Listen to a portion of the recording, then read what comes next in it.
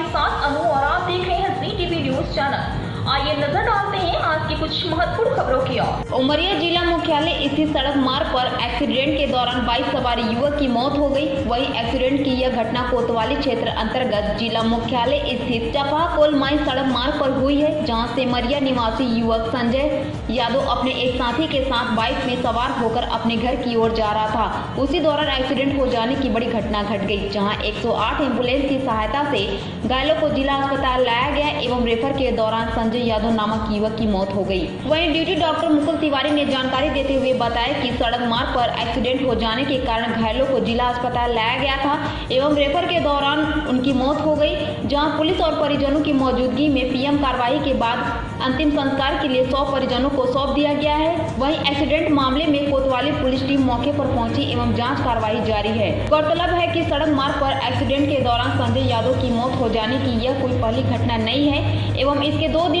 पूर्व में भी चंदिया थाना क्षेत्र के हाईवे मार्ग दुबार मोड़ के पास दो भार वाहनों की आमने सामने भिंडत हो जाने पर वाहन चालक राजेंद्र कुमार भूमिया की मौके पर ही मौत हो गई थी, जहाँ आए दिन यातायात नियमों का पालन न करने के कारण एक्सीडेंट की घटनाएँ निरंतर बढ़ती जा रही है। पेश उमरिया ऐसी शंकर सिंह की खास रिपोर्ट। मैं राजकुमार सिंह, कर्णिका बिहार में रहता हूँ। समाज सेवा का मेरा काम है। अभी मुझको कल रात को घटना के विषय में जानकारी हुई है, पास में मेरे घटना हुई है। तो इसमें तो क्या है? तो कुछ तो जो बाई है बिना हेलमेट के, कुछ उनकी जवाबदारी बनती है। कुछ यातायात के नियमों का पालन न, नहीं करते हैं, जिसके कारण घटनाएँ हो रही हैं। इस खलेसर नाके से चपा कॉलोनी तक बहुत सारी घटनाएँ इस बीच में हो चुकी हैं, जिसमें शासन प्रशासन उदासीन है।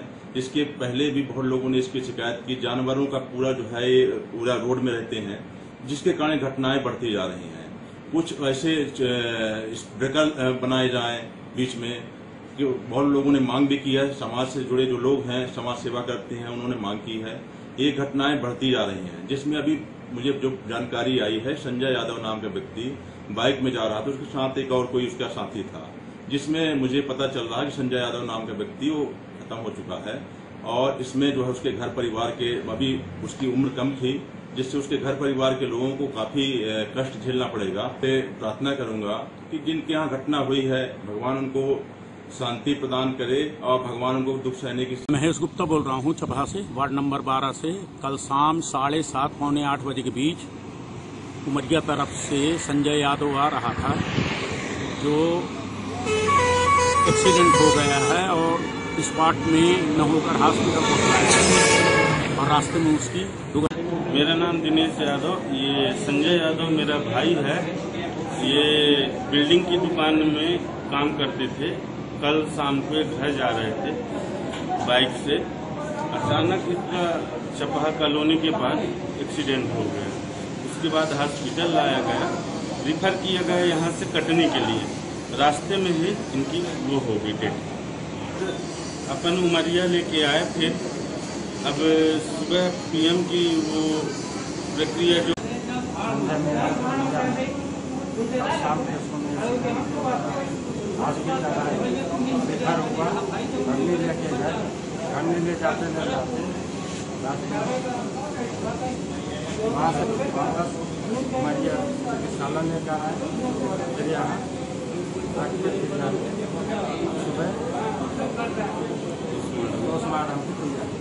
करते रहे। यातायात विभाग से लोगों से मेरा अनुरोध है और समाज के लोगों से अनुरोध है कि वह एक समाज में इस तरह के शिक्षा का वातावरण पैदा करें, ताकि लोग यातायात नियमों का पालन करें। और मैं जो चालक हैं गाड़ियों के, उनसे भी अनुरोध करूँगा कि वो लोग अपनी जान के साथ समाज के दूसरे लोगों की जान बचाने के लिए प्रयासरत रहें और हमेशा अपने मशीन को पहले दुरुस्त करें, ठीक से देखें और ठीक हालत में, अच्छी हालत में नशा ना हो, तभी वो वाहनों का प्रयोग करें।